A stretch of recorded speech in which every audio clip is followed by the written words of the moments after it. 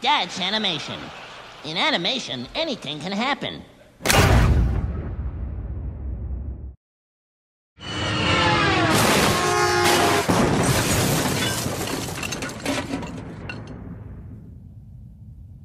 Holy crap!